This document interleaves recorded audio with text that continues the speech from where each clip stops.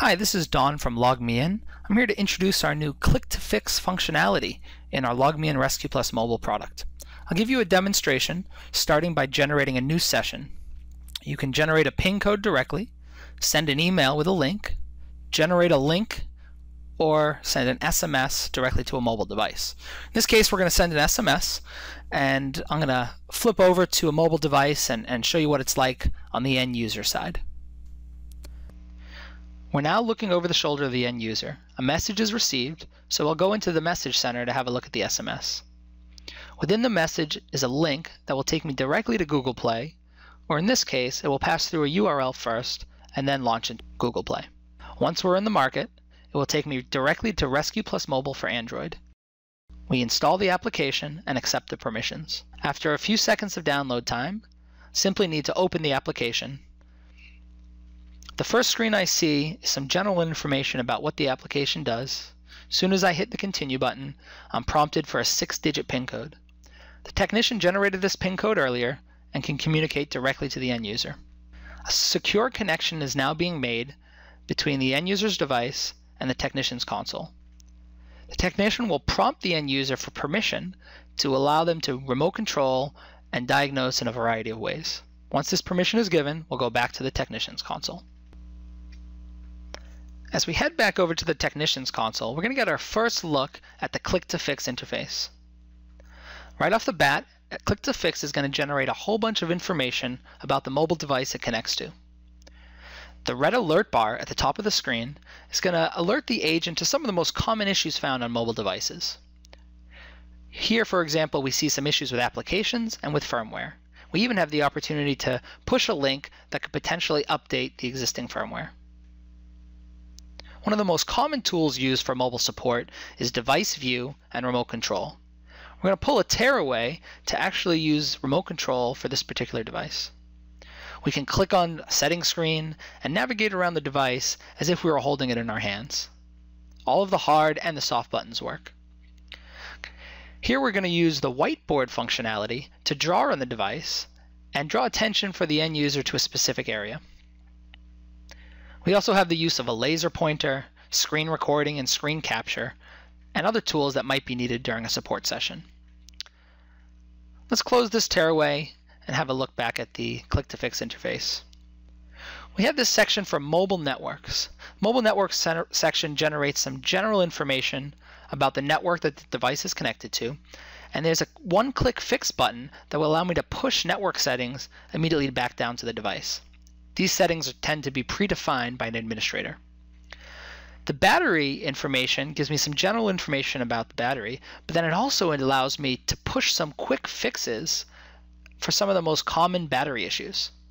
I can turn off radios, I can turn on automatic brightness, I can make the display timeout sooner, and I can push those settings with a single click right down to the device.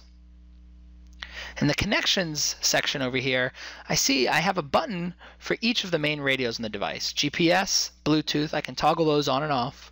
I can see what the Wi-Fi connection is, and I could turn the Wi-Fi connection on and off as well. If the Bluetooth was connected, I'd see what those Bluetooth devices were.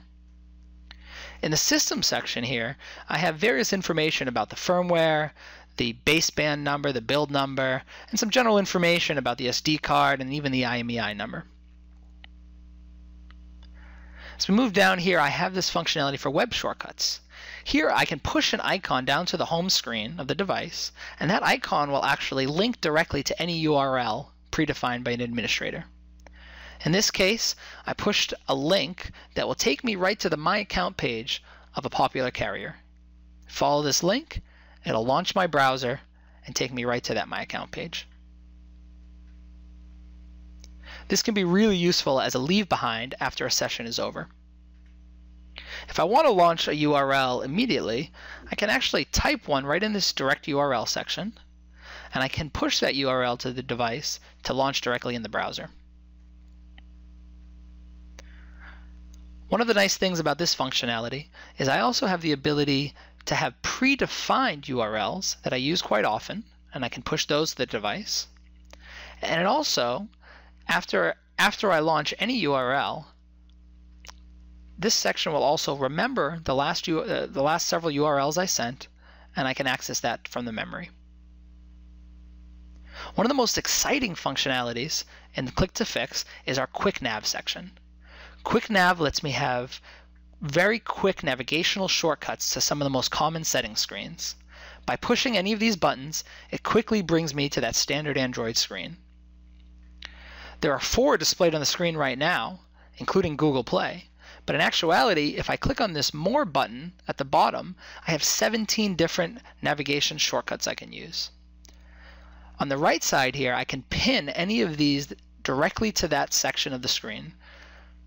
So that way I have access to the most common shortcuts that I need in a support se session. Overall, the Quick Nav section will allow a technician to go immediately to the sections they need to solve some of the most common issues on mobile devices. Additional functionality that still exists behind Click2Fix are the traditional tools such as File Manager and System Information we have some exciting new stuff with system information under the Processes and Applications screen. In Processes, you can select a process and actually end that process while it's running directly from this part of the console. Under the Applications section, you can choose an application and you can uninstall it right from here or launch that application in order to open it on the device. As an example, let's launch the calculator. We'll go back over to the Click2Fix tab and we can see the calculator has launched.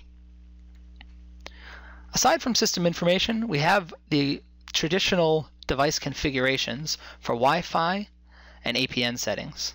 We can pull what the existing Wi-Fi connections are, make the changes we need, and push them to the device. I've navigated back over to the Click2Fix tab so I can show you the device view while I end a session.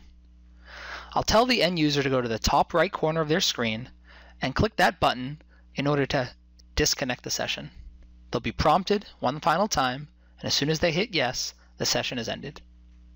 From the technician's perspective, they can go into the queue and hit the red X to completely close out the session.